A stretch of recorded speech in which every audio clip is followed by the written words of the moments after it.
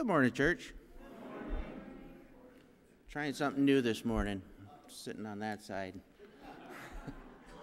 it's kind of cool. It's it's it's a whole different perspective. so, pastor today is going to be talking about works and faith, and um, one of the verses that he'll quote is "Faith without works is dead." And one of the things that I've often said is, um, you, you know that you're walking with the Lord if you wake up in the morning and you ask Him, What can I do for you? And this first service this morning, I was uh, kind of an emotional wreck, and I, and I think it has a lot to do with the fact that when we're called to do God's work, you got to kind of wonder why would He call us? You know, what makes us so special? And um, and I think that you know we don't see ourselves as God sees us, and we're all special in His eyes. But we're also given we're given a mission, and we're supposed to um, go out and do His His will, you know, do His work. We are His hands and feet. So um, it's good that we remember or that we're reminded of that um, through Scripture. So I just want to uh, let you all know that I'm here because God says I should be here. and I don't care what any of you say. no, I do care what you say. anyway, let's pray. Dear Father God, we love you and we thank you. We thank you for this day. We thank you for each person that's here. Lord, we just ask that you have your way in the service today, that the message that Pastor brings will be one that we can apply to our lives and that we can share with others. Lord, we pray your blessings over the tithes and offerings that are being given and ask that they be used to increase your kingdom. Lord, we pray for those who are sick and unable to be with us today. We pray for their healing. And Lord, we pray that, um, that you will grant us your peace as we go through this day and through the upcoming week. And we ask that, that everything, or we hope that everything that we say and do will in all ways honor and glorify you. And it's in Jesus' holy name that we pray. Amen. Well, good morning to each one of you. Join us, please, as we sing this morning. I have decided to follow Jesus.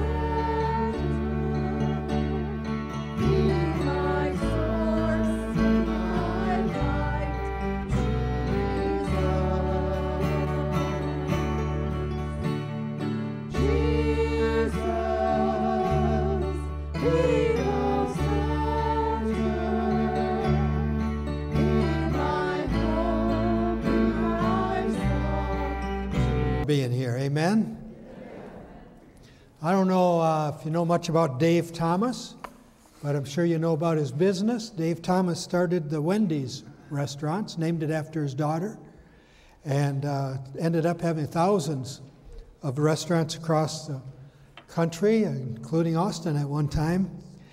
He was a follower of Jesus, and he made it known. He was respected as a man of integrity and hardworking with down to earth values. And in his book called Well Done, as in hamburger, Thomas said that believers should be roll up your sleeves Christians. What picture does that put in your mind? Hardworking action. Uh, people who, who value uh, Bible reading and, and uh, prayer, but also uh, involvement, being part of a church, being part of ministry, faith and action. And he talked about it and he practiced it. He worked hard in his business and he worked hard in his faith. If you're reading through the New Testament with us, how many are still working on that? Good, good for you. We came to the book of James, and uh, James was a brother of Jesus. You know, Mary and Joseph were mar- married, but Jesus was already on the way. His, his father was God. Uh, he, was, he was implanted in Mary through the Holy Spirit. He was, he was all God and he was all man at the same time. Well, Mary and Joseph, in the course of things, had four sons. Their names are given in the book of Mark. It also mentions that he had sisters, so we know there are at least two. And James was one of those, half brothers. And he grew up with Jesus and uh, didn't believe in him when he began his ministry.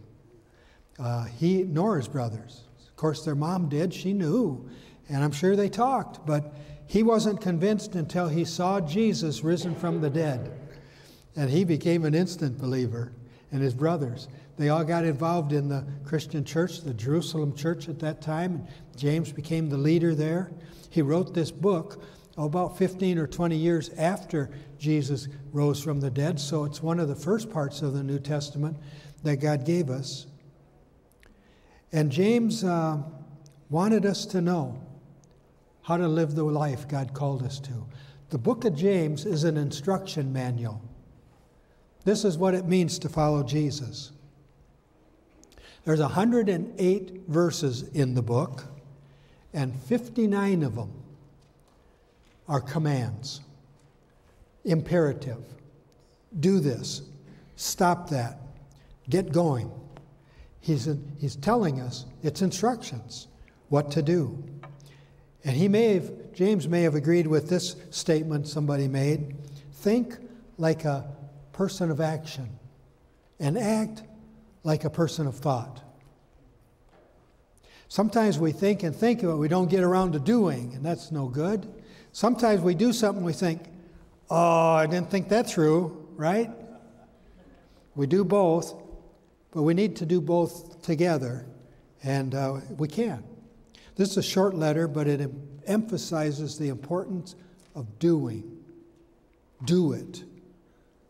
The Bible is very helpful in all areas of life. It talks to us about managing our thoughts.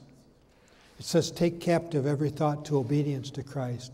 Be careful what you think about, be careful what you brood on. It also talks to us about our words. They're powerful. Jesus even said, You'll be judged by every useless word you've spoken. That's scary, isn't it? He also said, Your sins can be forgiven. But James focuses on the action part. And so we need to pay attention to him as well. The Bible says all of our life will change when Jesus is in charge. If anyone is in Christ, he is a new creation. The old is gone, the new is here. The Bible calls it being born again. I'm physically here. Now I want to become part of God's family. Now I want to come spiritually alive. Now I want to be the full person God made me to be. And when we let that happen, everything changes, makes a difference. The Bible's clear. Well, before we move on and talk about more of that, let's pause and talk to God one more time today. Lord Jesus, we thank you that you're real, that you rose from the dead, you're alive today, you're working in the world, and you're working in us. We thank you for your word, that it's true, that it's powerful, that when we apply it in our lives, it makes a difference. And so we pray that we'll have ears to hear and eyes to see and a will to obey all that you have to say this morning. Amen.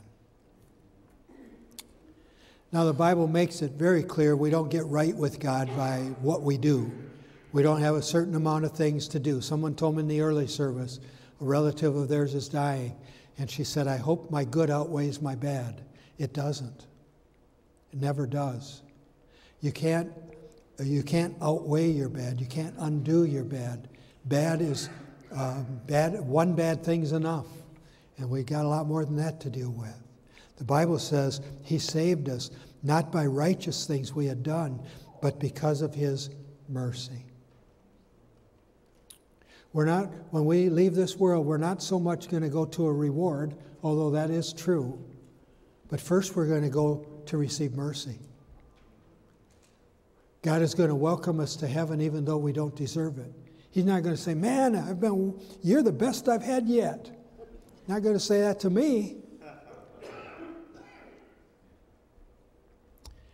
We don't focus on doing good in order to be saved. We never could. We can't cancel our sins by doing something good. If I, if I uh, hurt you in some way, I, I can't uh, give you a present and call it even. I need to humble myself and apologize and ask forgiveness. And that's how it is with God. We have to ask forgiveness, and it only can be given to us because of Jesus. He'll forgive us, God will forgive us based on what Jesus did on the cross.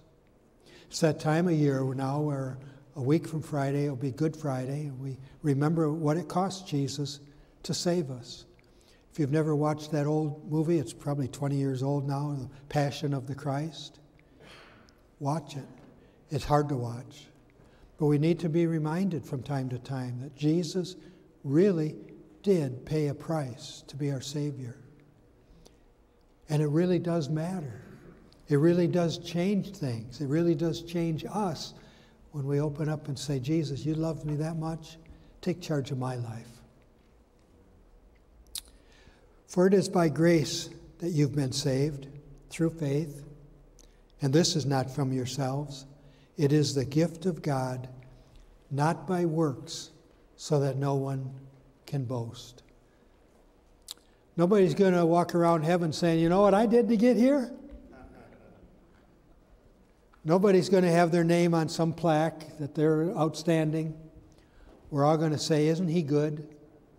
Isn't Jesus good? He gave this to us. James uh, no way contradicts the idea that we're saved by grace, not by works. We can only ask for it, we can only gratefully accept it. But he also tells us that once Jesus comes in, we'll want to respond. We'll have a gratitude that says, I want to love you back. I want to, I want to be yours. I want to be available for what you're doing. I want to be part of your plan. And we were made for that. Do, do you feel good when you do something good? It just feels good, doesn't it? It's like I'm alive. I matter. We were made for that. Everybody was. We're made in the image of God. He only does good. People who don't believe in God still feel good doing good. It's built in us. But it was built in us to, to do in cooperation with God as His children. And so the Bible even tells us, and we've seen this a few times lately, for we are God's handiwork, created in Christ Jesus to do good works which God prepared in advance for us to do. Before you were born, God had things in mind for you to do. He had people that you would touch, He had ways that you would serve. He gave you a certain personality, a predisposition, certain gifts and interests. Some of you know you were born to be musical. Some of you know you were born to be athletic. Some of you know you were born uh, to, to minister to children. You were born to care for people uh, in a medical way. You were born to, to cook. I don't know. But you come alive when you do it. You know you're doing it for God. You know He's pleased because He created us in Christ Jesus. Now, what that means is He not only created me physically, that I was born, but He gave me new birth as I believed in Jesus. I was born again. I got I stepped into a new dimension of life. I was alive physically, now I've come alive spiritually. I'm in touch with my Father, and He's working His will in me. And He gave me things to do that He thought of even before they came into my mind. And it's good to do. And James is writing to people who have begun following Jesus and are working along the life, and he urges them cooperate fully with God. Do everything He created you to do. Don't have a casual attitude uh, towards God's commands, but take them seriously. Don't ignore anything He says, but do it. He says, Be doers of the word and not hearers only. I can hear it without doing it,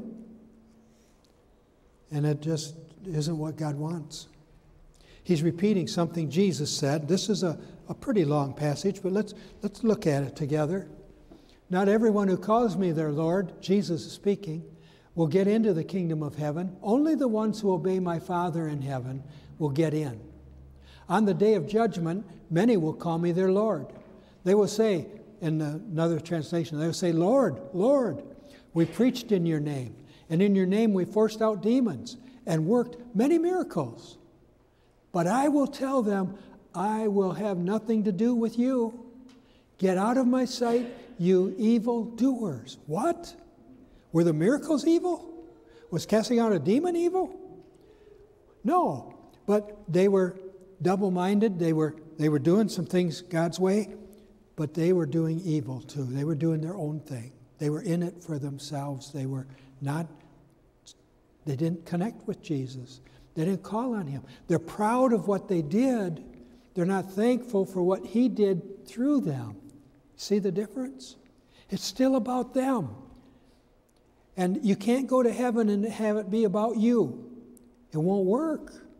God won't allow you in if it's going to be about you. Because we tried that in this world, and how's it turning out? And so God says, No, when you come to me, it has to be about me. It has to be about my purpose. And so he goes on. Anyone who hears and obeys these teachings of mine is like a wise person who built a house on solid rock. Rain poured down, rivers flooded, and winds beat against that house. But it was built on solid rock, and so it did not fall.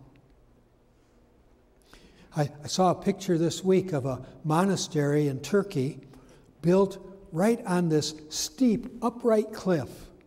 And it was hundreds of feet up from the floor below, and it was built into the, into the side, into the rock, and it was a thousand years old. Been there all this time because it's based on the rock. There are buildings in the world that are a thousand years old, two thousand years old. The Parthenon in Greece, uh, goes back to the time of Christ. And it's still standing, the pillars are still there. It, it's built on solid rock. Nothing's going to sink or move. Even an earthquake hasn't been able to make it move. And God wants us to have a foundation that won't give way, that won't wear out, that won't fail us. And the truth is, the truth is the foundation. What He tells us. When you read it in the Bible and God says to do it, you can do it and it will turn out for your benefit. It might hurt, it might be a sacrifice, it might be opposed, you might get fired for it, but you'll be glad you did it. And God will be glad you did it. And it will be good. Jesus and James are both telling us take an honest look at yourself. What you call faith, is it faith? Is it real faith? Or is it some kind of false faith or some kind of partial faith? If we have true faith, it'll express itself in good works. It's eager to do God's will. Faith is eager. God, what, what's, what's next? And if we really believe it, it will show in our actions. James talks about people who say, Well, I believe in God. Anybody ever told you that? Well, I believe in God. James says, Big deal. That's not the kind of believers God is looking for. He's looking for believers who don't just have mental knowledge or mental agreement. He's looking for people who pull into God, who make themselves available to God, who say, God, I want you in me and I want you to do things through me. He gets a little sarcastic.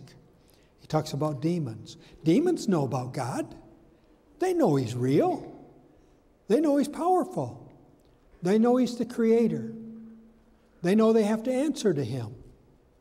And so James writes, You believe that God is one? Oh, you're doing fine. Even the demons believe that, and they shudder. He says, If you know that and you don't act on it, it should scare you to death. Because you don't have an excuse. And the demons know they don't have a great future. Once in a while, I remember that poster. When the devil reminds you of your past, remind him of his future. That's a little bit bratty, but true. God expects more than mental agreement. Jesus says, Follow me, obey me. He once turned to some people, they kept coming to hear him teach. And he said, Why do you call me Lord, Lord, and not do what I say? Why do you call me boss and then not do what I told you? Good answer to that? Haven't thought of one. He's had to say it to me. the answer is I'm sorry. We're not saved by doing good works, we know that, but we're not saved by a passive faith. We need an obedient faith. Whenever faith arrives, good works are going to follow. A faith that doesn't change anything isn't worth anything. Is that true?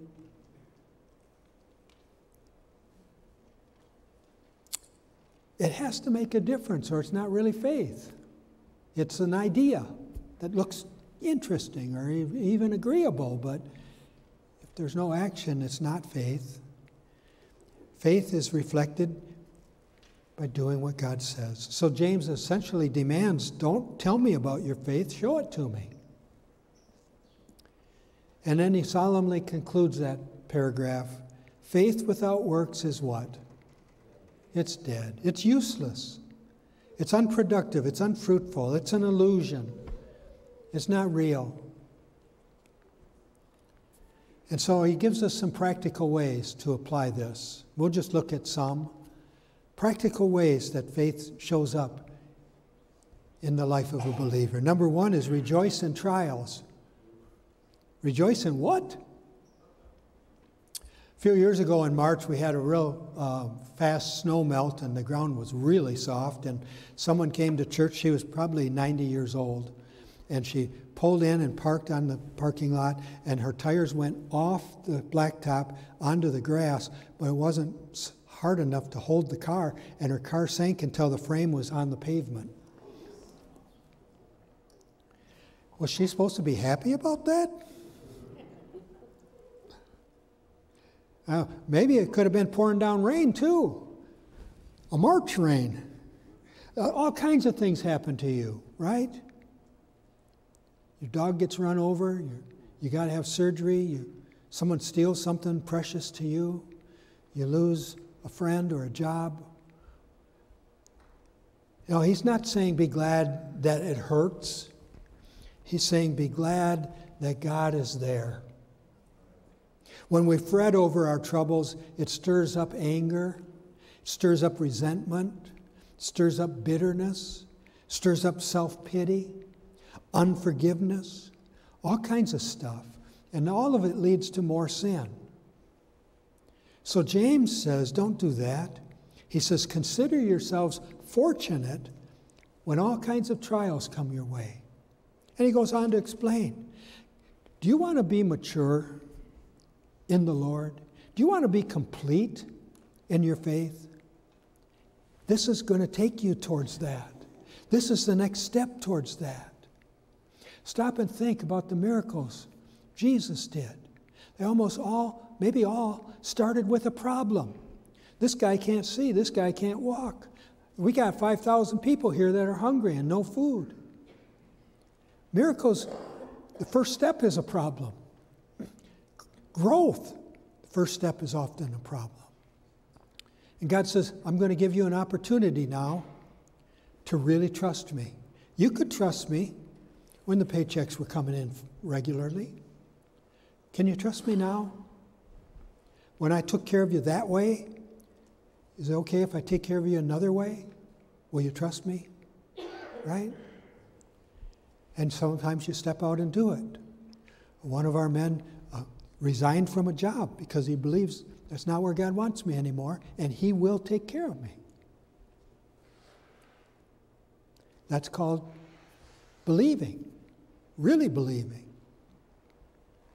And you and I are called to do that. Number two, overcome temptation. He doesn't say enjoy it. He doesn't say uh, anything. It's just, it's going to happen. We'll face temptations, and the reason they're temptations, they appeal to us. I've never been tempted to go into someone's garden and steal an onion. Just don't like them. My dad ate onion sandwiches. I thought he was nuts. Someone told me yesterday that uh, they had an aunt who was mentally unstable, but took care of them after school. And the mother said, Just don't get her upset, just do what she tells you. And the aunt made her an onion sandwich, big thick slab of onion. And she forced that thing down because she was obeying her mother. And I thought, You poor child. She, the tears were running.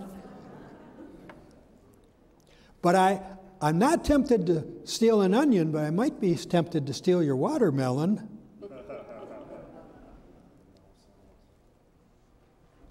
Sixth grade, when you thump it with your finger and it gives a hollow sound like summer rain a falling on a dry and dusty ground, then get your jackknife ready and prepare to make a swipe and carve it straight and steady till it opens red and ripe. I don't know why I learned that, but. There's one. Don't be doers. Don't be doers. No, temptation, the Bible tells us. Everyone is tempted by his own desires. Everyone is tempted by their own desires. We had a person in the House of Representatives a few years ago when uh, we were trying to decide should, should, should people who are same gender be allowed to be married. And he said, How many gay people does God have to make until we treat them better? God doesn't make people gay. I know people are born with predispositions, but God doesn't do that. Some people are born like, liking to light fires or break things. Almost every boy likes breaking things. You know what? Not God. Not God. A few get a job where they get to do that. I watched the guy tear down the house on the corner a few years ago. He was good at it. He enjoyed it. He said, I love this job. it was okay, it was constructive, but what I'm saying is temptation. The Bible says God is not tempted, He does not tempt anybody. Don't blame a temptation on God. That's from the devil. God will test you. A test is designed to be passed. If it, when, I had a, when I was a school teacher, if I had a test and uh, uh, all the kids did poorly, it was a bad test. I did a bad job making that test. I hadn't prepared them for it. The test was designed to be passed. Almost everybody, if not everybody, should pass it. And some should do very well, and some should do pretty well. Because that's what a test is for, is to say, you've learned something, now let's see if you can show it. A temptation is, is designed to destroy you. The devil came to kill, steal, and destroy, and temptation is his way of taking you out of God's blessing and into his grip. He'll promise you happiness. Man, if you could get that money, you'd be pretty set up. You'd be happy. Think of what you could do. That is not going to be a way to God's blessing, is it? It will destroy your life. It will corrupt your character. It will threaten your soul. And so a temptation is not from God, it's from the devil. And so he tells us you can resist it. You can stay away from it. Bible of, of all the things the Bible says to do about temptation, it says flee. Not the animal, the action. Get out of there. There's places you ought not to be. There's people you ought to say, I got to go home now. Flee from temptation. Last book, chapter of James resist the devil and he will flee from you. Quote scripture. Start praising God. Turn on good music. Pray. He will flee. He hates when you worship. Third one is treat people kindly. Be ready to hear more than talk. Everyone must be quick to listen, slow to speak, and slow to become angry. That's one thing I'm glad I always do. That was a joke. Boy, we need this in our dialogue in our country, don't we? We need this in the church. We need this in our homes. Quick to listen. I, am not getting that. I don't think I agree with it, but tell me, tell me something. Slow to speak. Sometimes when it's a, a heated a little bit or it's a direct d- difference, sometimes it helps to say, Is it okay if I tell you what I think? Is it okay if I tell you something the Bible says about that? Because now you're not just jumping in and giving it to them, you're saying, I, I have something I think will be helpful if you want to hear it. And slow to become angry. Oh man, I wish I'd have done that better as a dad, as a teacher, all, all ways of life. I wish I'd have been a lot slower to anger. There's a place for anger. We may even be judged for not being angry at some things. Human trafficking, fentanyl, should make you just burn. But slow to anger. Be angry and yet don't sin, the Bible says. Well, let's go to the fourth one. Uh, what this does, what we just talked about, is it makes us more tender. It makes us more Christ like. And we get the, how do you do that? Get into the Word. He says, be teachable. Go to the Word. Let it speak to you. Let it guide you. The Word of God will help you. And the, that was chapter one of James. Got three more from chapter two. Treat everyone with love and respect. Don't show favoritism. He explains if you have someone coming into the church who's wealthy, and you come in, someone comes in who's clearly poor, treat them the same. Sir, sit anywhere you want. Sir, sit anywhere you want. Sir, join us for the potluck. Sir, we care about you. Is there anything we can pray for you about? That's what churches are meant to be like. That's what we're meant to be like. That's what we need to shoot for. And if we fall short, we need to repent and do better. We have to treat people not according to their outward circumstances, but because they're made in the image of God. This person comes in who's obviously a sinner. It's just, you can tell. Or maybe they have a reputation, and you know they're a champion at drinking. Treat them with respect, treat them with love. We have a little food shelf in our church. It's just a little cupboard. It's not much bigger than the communion table, but we people keep bringing it and we keep giving it. Anybody who asks for food, we'll give it to them. We may know instantly we don't approve of their life. we know, may know instantly by their language they don't think much about God. But we help them because they need help. And God loves them. And we'll give a gas voucher to someone. And uh, sometimes they lie to us. We'd rather, we'd rather be fooled than be unkind. And so that's what we do. Now, we aren't a dole where you come every week. Salvation Army does that, and we're thankful. We help them. But we, we show kindness and love the best we can as a body and hopefully as individuals because everyone deserves to be loved. Here's God's standard love your neighbor, right? Here's God's standard love all your neighbors. Love all your neighbors. Oh, God, you don't know my neighbor. He says, Oh, I do. And I know why they're like that. I know what went wrong. And I'll tell you what they need love and kindness and respect. Guy bought a house and moved in. The day he moved in, a neighbor came over. You bought this house? He said, Yeah. He said, Well, you're going to get a lawsuit tomorrow. He said, What for? That fence. He said, That fence over there is six feet onto my side of the line. And the guy said, Oh, well, I'll call tomorrow and have it moved. His neighbor said, Oh, no, you won't. Leave it. Kindness and respect work better than saying, Well, I got a better lawyer than you. My lawyer can beat up your lawyer.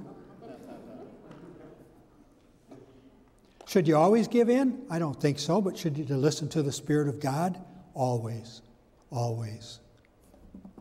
Number five, obey most of God's commands. Some of us would feel like I'm making a lot of progress if I did most, right? But the Bible says obey all. Why? Everything God says matters, everything God says He means. James says, Whoever breaks one commandment is guilty of breaking them all. I don't get that. Yeah, I stole a candy bar, but should I go commit adultery and it's the same thing? He's not saying that. He's saying when you disobey God, it will break off your connection, your relationship. Think of a chain. Here's the Ten Commandments, ten links. What happens to whatever's hanging on it if I break one link? He says if you break one link, the result is no different than if you broke all ten. Whatever you trusted to be held by that chain is crashing. And in this case, he's talking about your relationship to God. He's not talking about earning salvation, he's talking about being in fellowship, being on talking terms, being close to your Father, being right in every way. And you can't do it if you say, well, this command doesn't matter. I don't care about that one. I need to do this. So don't do it. They're all serious. Don't disregard any. Now, if you are a believer in Jesus and you sin, you don't stop being his child, but you are a problem child. And you know what happens to problem children? They get more problems. I remember making an assignment saying you need to do this by Friday, and a kid said, What if I don't do it? I said, well, I'll be unhappy, and I'll think of a way to make you even more unhappy.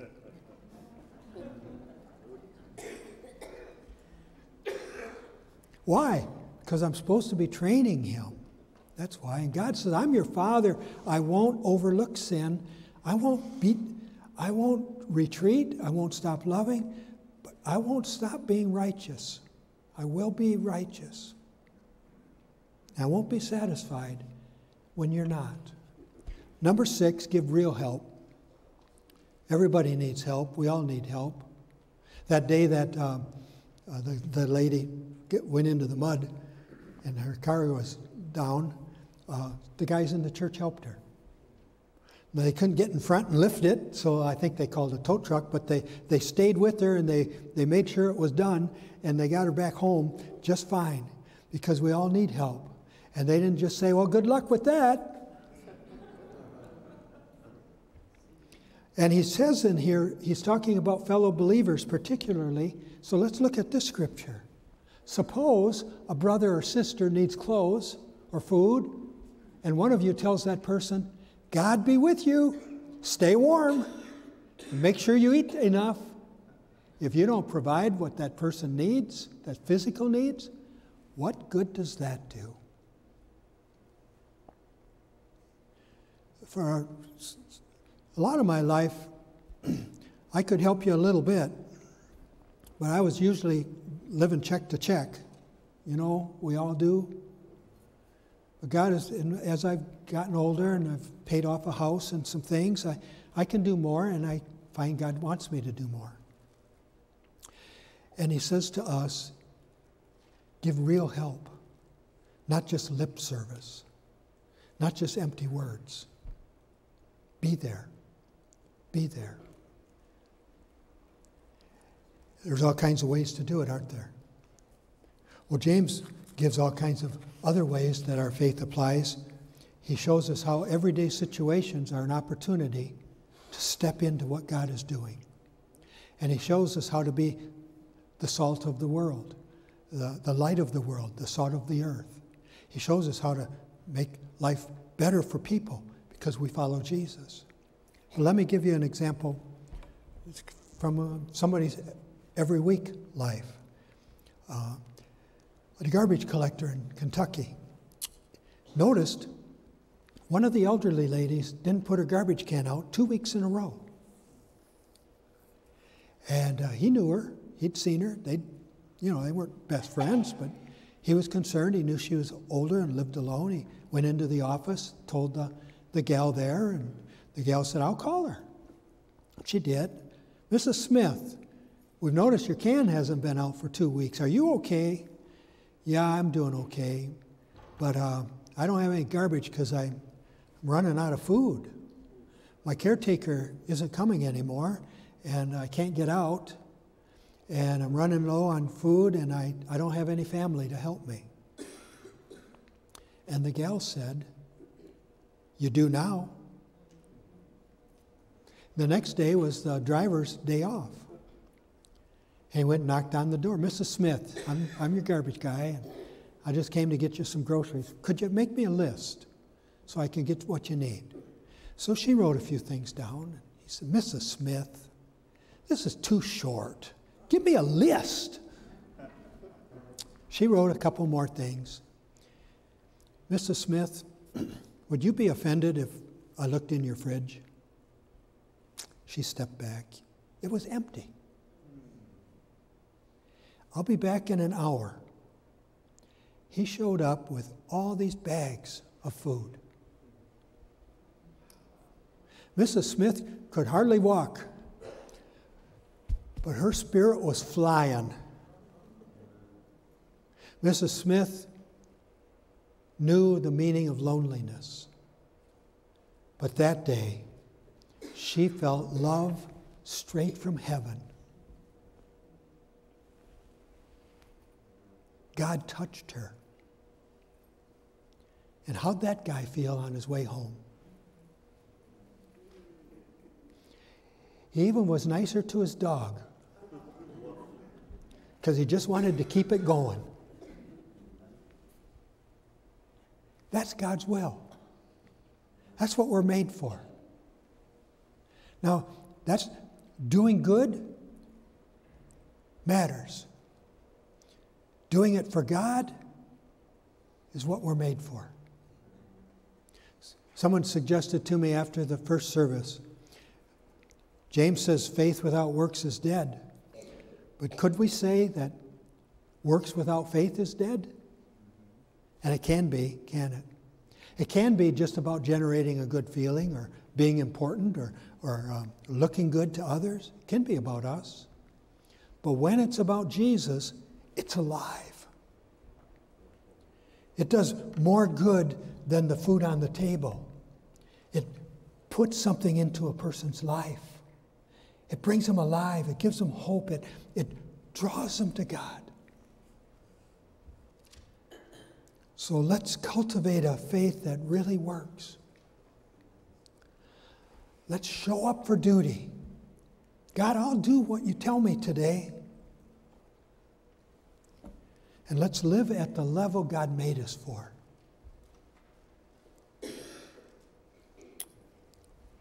How do you feel about that? Anybody want to give it a shot this week? I want to walk with you, Jesus. And I want someone to be blessed because I do. Let's close with a song.